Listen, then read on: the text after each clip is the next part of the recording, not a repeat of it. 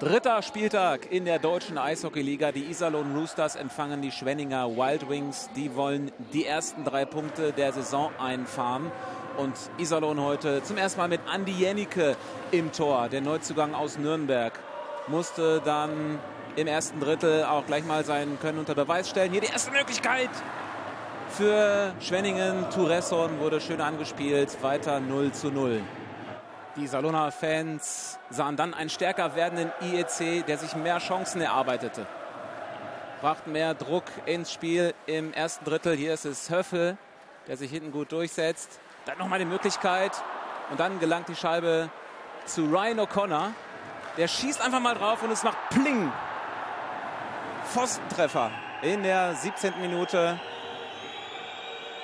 Dustin Strahlmeier im Tor der Schwenninger im Glück und Paul Thompson, der gesagt hat, wir haben zwei Schritte zurück gemacht, jetzt müssen wir drei nach vorne machen. Und das haben sie im zweiten Drittel auch beherzigt. Aber es ging erstmal einen Schritt zurück. Der Iserlohn mit der Führung im zweiten Drittel, 30. Spielminute. Der Mann, der vorhin noch den Pfosten getroffen hatte, Ryan O'Connor, jetzt mit dem 1 zu 0. Hier Bulli gewinn, Michael Clark. Und dann hält der Neuzugang einfach mal drauf und besorgt die Führung für die Roosters. Aber Iserlohn konnte das Tempo im zweiten Drittel nicht halten. Schwenningen kam zurück, erarbeitete sich auch Chancen und in der 32. Minute in Überzahl dann sensationell herausgespielt. McQueen sieht seinen Mitspieler vorm Tor und Blunden besorgt den Ausgleich. Hier hat McQueen eigentlich die Schussmöglichkeit. Er spielt aber vor das Tor. Dann nochmal der Querpass auf Blunden von Canoni. Und Überzahltor. 1 zu 1 Ausgleich. Zwei Minuten später. Die Scheibe kommt zum Kapitän, zu Fraser. Der hält drauf und plötzlich steht es 2 zu 1 für die Schwenninger Wild Wings. Torschütze, aber nicht der Mann, der hier umarmt wird, sondern Torschütze ein Debutant. Maximilian Hadraschek, erstes DEL-Spiel erstes Tor. Hier ist er vorm Tor, arbeitet und dann fälscht er gleich den Schuss von Fraser entscheidend ab. Hier sehen wir es nochmal ganz genau. Der Mann mit der 16 hält die Kelle rein. 2 zu 1 für die Wild Wings nach dem zweiten Drittel. Jason O'Leary, der neue Trainer der Roosters, musste sich was einfallen lassen für den Schlussabschnitt. Rein in die letzten 20 Minuten. 53. Minute. Der EC probiert es nochmal.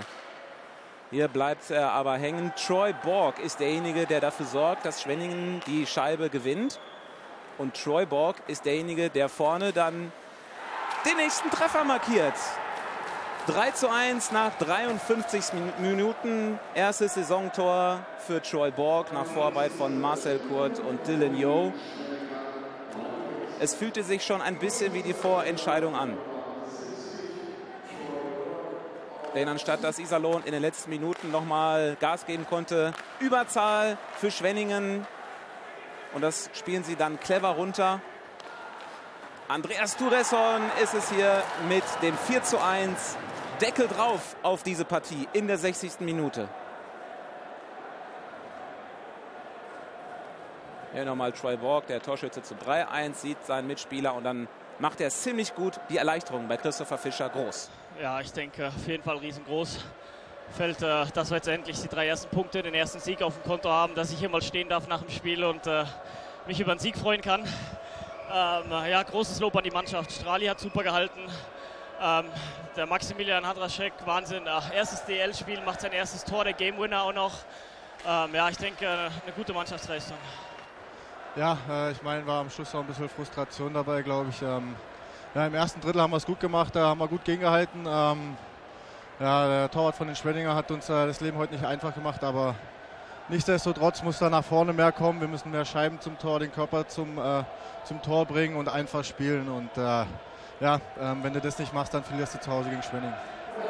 Schwenningen holt also die ersten drei Punkte der neuen Saison und Iserlohn auch im zweiten Heimspiel ohne Sieg. Alle Spiele der deutschen Eishockeyliga und vieles mehr live beim Magenta Sport.